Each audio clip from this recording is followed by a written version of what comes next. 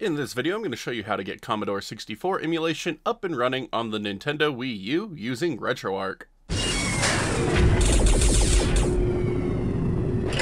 The Commodore 64 is another one of those retro computers that I just really never had an opportunity to get into back in the day, but have discovered over the last few years and have really been enjoying learning more about its history and game library. When Commodore 64 games began releasing on the Wii Virtual Console, that's when I got my first taste of the microcomputer in action, and it's honestly a lot more fun than I would have given it credit for, and I can see why so many people hold so much nostalgia for the system. Unfortunately, Commodore 64 didn't make the cut for Wii U, but thanks to emulation and programs like RetroArch, we can overcome this by adding our Commodore 64 games to the system ourselves. And that's what I'm going to show you how to do today, so let's get started. To get started with Commodore 64 emulation, we need Commodore 64 games, and you could get these from the Wii Virtual Console if you happen to buy any on that service, or if you have a Commodore 64 Mini, you could dump them from that as well. And of course, you could also resort to the shady parts of the net if you so desire. Regardless of how you get your games, there is going to be a little bit of setup involved depending on if you have multi-track games. So going into my Commodore 64 games folder, I have a number of different format of Commodore 64 games. So we've got tape, disc, and cartridge. But at the top, I also have three folders that have multi-file games. So for example, California Games is on two separate floppy disks with four sides total. So to get this game up and running within RetroArch, we need to make a playlist file that will let us select each individual disk as we need them. And the process for this is relatively simple. If you're on Windows, all you need to do is right click, new, text document. If you're on Linux or Mac, just make a text document how you normally would. And we could just name it California games for my example here. But now we're going to open it. And we're going to copy in the name of every single item of the folder.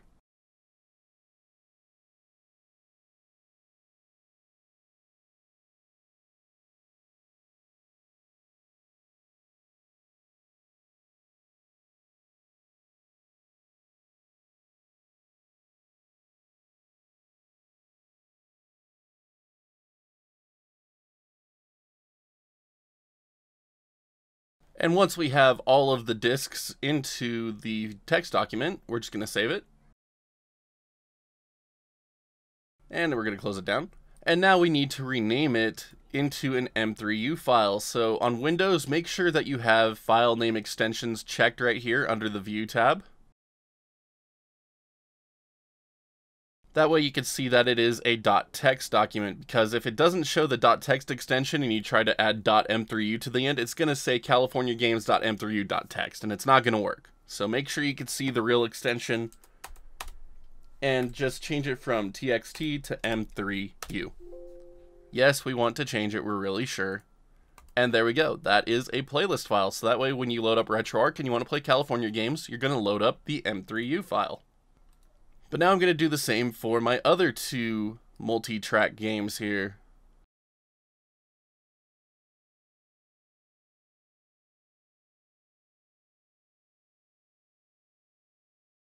And there we go. All of my multi-sided games now have an M3U file, so we can load them right up in Commodore 64 emulation through RetroArch. So once you have your games prepared and are ready to go, we just need to place them on our Wii U SD card. So on my Wii U SD card, I made a folder named RetroArch ROMs where I'm placing all of my games in this tutorial series. So I'm just going to add Commodore 64 to it. And once you have your games placed, you can close out of your Wii U SD card, take it out of your computer, put it back into your Wii U, and get the Wii U turned on.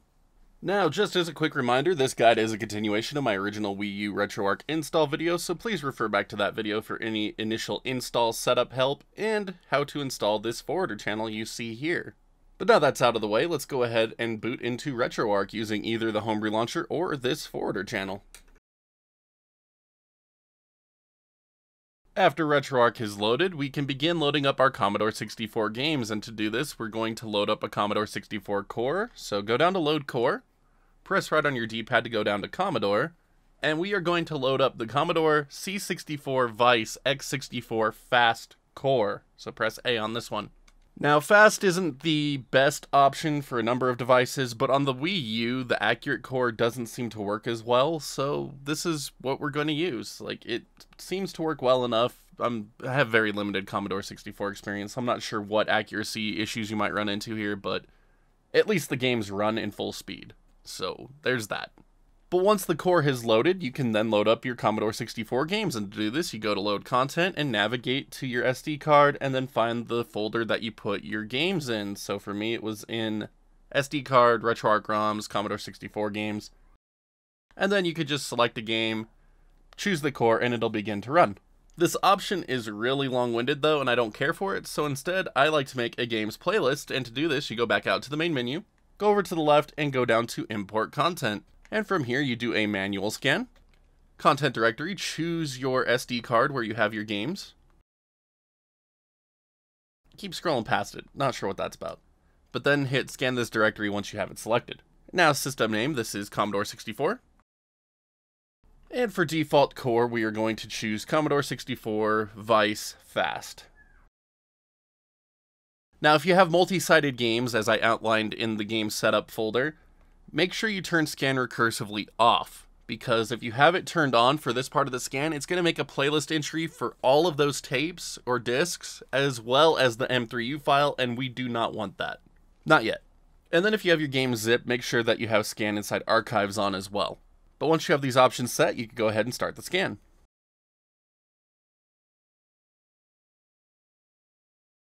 After that first scan's finished, we're going to do a second scan specifically for those M3U files. So for this one, we're going to make sure scan recursively is on, but we're going to set the file extension to M3U. So press A on this, type in M3U, and press start. And everything else is still the same. But now I'm going to go ahead and start the scan again, and it's going to find my three M3U files. And after that scan's finished, if I back out, and go over to the bottom left here, there is a new Commodore 64 playlist entry. And there it is. And it should have found all of my games, so there we go. And there is one of my multi-track games right here. And here, and there. There we go.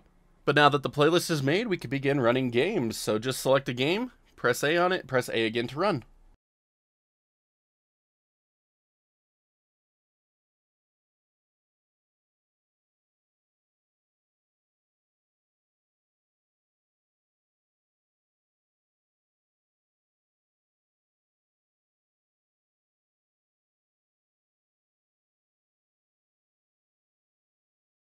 And there we go, Commodore 64 up and running on the Wii U through RetroArch, and this is so much fun.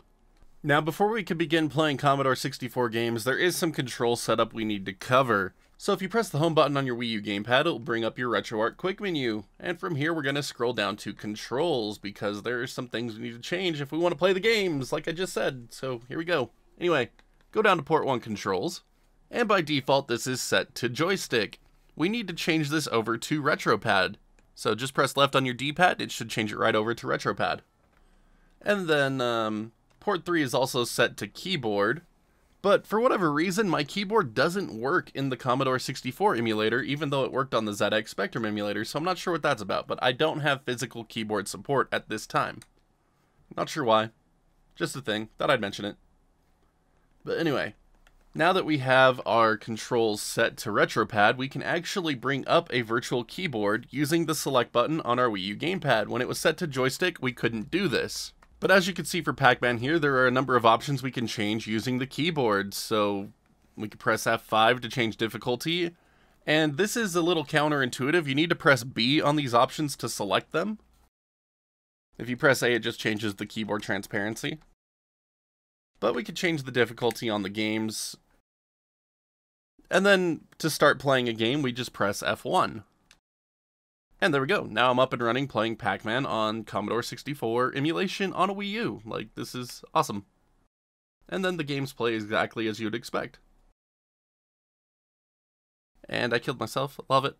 Now, just another quick note on controls. The Commodore 64 had two joystick ports. Most games used port 2, but there are also games that used port 1, and to change between the two on the fly, you could bring up the virtual keyboard using the select button, and there is a nice little joy button down here in the bottom right, and you could press B on this, and it will swap the joysticks, but Pac-Man can't run if the controller is in the wrong port, so it just brings you back to the main menu.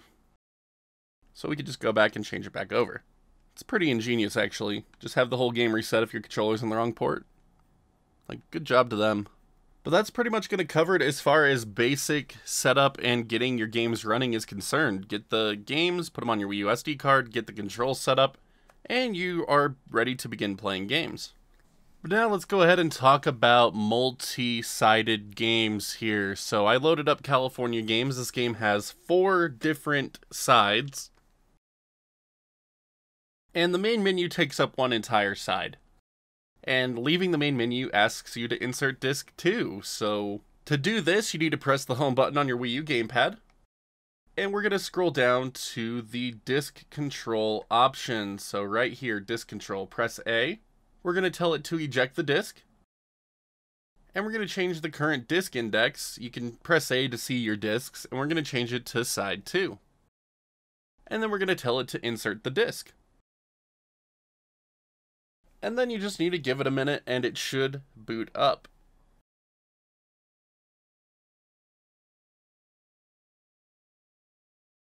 And there we go. You might also need to press your B button to get the load to initiate. Just uh, experiment with it. Sometimes it's automatic, sometimes you need to press B. But now I can play California games on Commodore 64. And again, that was dynamic disk swapping in action.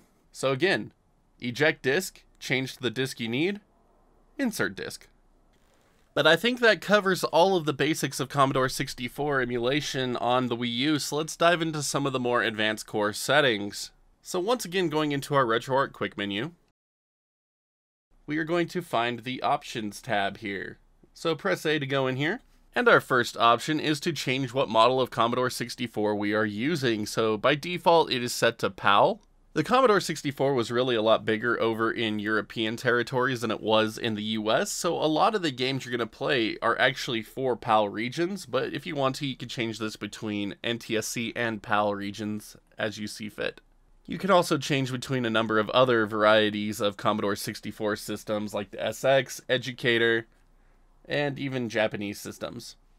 For Commodore 64, I honestly just leave it on PAL because that's what the vast majority of these games are expecting to run in. A lot of them will run under NTSC, but I don't know. I just leave it on PAL myself. Next, we have System RAM expansion units, so if you know you're going to need some of the expansion units for the RAM, you can set that here. Next is an option for Jiffy DOS. I'm not going to cover that. It requires Jiffy DOS ROMs, and I don't have those. So if you have them, you put them in a folder named Vice, put them in your RetroArch system folder, and you can enable Jiffy DOS. We're going to skip the read Vice rec and system reset types. We're also going to skip media cartridge, media auto start, and, and skip down to media automatic load warp. I recommend turning this on, otherwise you're going to be stuck waiting for games to load for a while definitely turn this one on. If you're going to be using Jiffy DOS though, make sure it's turned off. Leave True Drive emulation on, and we're going to skip virtual device traps, floppy write protection, easy flash write protection, global work disk, and we're going to skip down to show video options. So you can enable this, back out of your options menu, come back in, and now when we scroll back down, there'll be a ton more video options available. So you can choose between aspect ratios, zoom modes, zoom mode crops, or you can even do manual crops if you want to. This also lets you change up the way the virtual keyboard will look, and then you could also change up the color palette. Color is supposed to be the most accurate, so I just leave it on that. But then you can also adjust things like gamma, brightness, contrast, saturation, and tint, as well as color depth. So you can change this between 16 or 24-bit as you see fit. But I'm going to go ahead and close out of this one. Just so it's not taking up as much room. And now we could do the same for audio options. We could press A to go into it, back out, come back in, and now we have different audio options. So there's audio drive tape sound emulation that you can have enabled, and you can set the volume for that here. This does require fast load to be off though, so I don't know. It's kind of a trade-off. Then there's audio leak emulation. You could turn this on if you want to have a more authentic experience. Then you could choose the audio engine. I think ReSID is good for the Wii U. Then you could choose your audio chip here. So the 6581 is the original, and then this C64C uses the 8580. So you want the original, you could set that here. Then you can set an extra address. I don't really understand Commodore 64 architecture enough to know what purpose that served, but if you're a Commodore fan, you probably know what that means. Then we got audio resampling. I will leave this on fast for the Wii U. Commodore 64 emulation seems to take a toll on Wii U, so I don't want to try to get it too too accurate, sadly. But then you also have different filters and bias gains that you can adjust here if you're an audiophile, as well as adjusting the sample rate.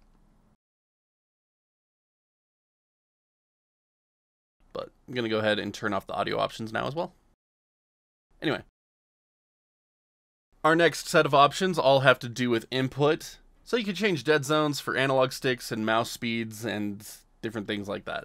The next option is to get a multi-tap of sorts emulated. Unfortunately, I still can't get more than the gamepad to work under Wii U emulation, so this is kind of useless at the moment. Next, we have Keyrah keypad mappings. I haven't needed to turn these on. I don't have games that need this, so I'm just gonna ignore it. Gonna ignore the keyboard key map. I've tried enabling keyboard pass-through to get my physical keyboard to work on the Wii U for Commodore 64, but it hasn't seemed to do anything. It might just be my keyboard to be honest, but I turn this one on. I'm going to skip the Datasette hotkeys, and let's talk about mapping options because this actually lets you set a number of different a number of different uh, hotkeys that you can put on your gamepad to control the system. So go through here and you can go ahead and choose any of these that you might need. Honestly, it doesn't really get too user-friendly until you get down to the RetroPad section. So like you could set buttons for your Wii U gamepad to do different things. For example, select being toggle the keyboard. And then your other control keys will be listed here and you can set them as you need them.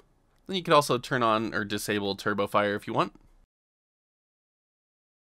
And then you could also manually change the port here. But again, you could just do this through the on-screen keyboard, which I would recommend. But then you could also change what is connected to your ports. And then you could change which button is the fire button. I'm going to go ahead and close this out. Default options have worked fine for me. But that's pretty much going to cover it as far as core options are concerned. There's a lot in here to mess with. A lot of it will be very game specific. So if you need certain settings on certain games, make sure that you save them as a create game options file here at the top of the options menu. So that way all of your individual games will have the settings they need as you play them. Now normally in this part of the video I would cover shaders, but unfortunately Wii U shaders are a bit odd, so I'm going to be making a dedicated Wii U shader video once we finish off the core video, so stay tuned for that. But I think that's going to do it for this Commodore 64 emulation tutorial. As always, if you have any questions, feel free to ask and I'll do my best to try to help you out. Commodore 64 emulation isn't exactly one of my stronger systems, but I will still do my best. But now if you could all do me a huge favor and be sure to hit that like or dislike button, just depending on how much you like today's tutorial. Really goes a long way to helping out the channel, and I can't thank you all enough for that. And if you haven't done so already, also hit that sub button so you can see when new videos just like this go live. Both of these things really help out the channel, and I can't thank you all enough for that. If you are feeling particularly generous and want to help support the channel further, you can always check out that join button here on YouTube, the merch shelf, or that Patreon link in the bottom right hand corner of the screen. Little really goes a long way to keeping this place running, and I'm so grateful to all of you for that. To all my current champions, thank you so much for being amazing. Y'all rock. Friggin' rock stars, you. But that's going to do it for this one. So until next time, my wonderful internet peeps, stay awesome, and we will see you all back next video.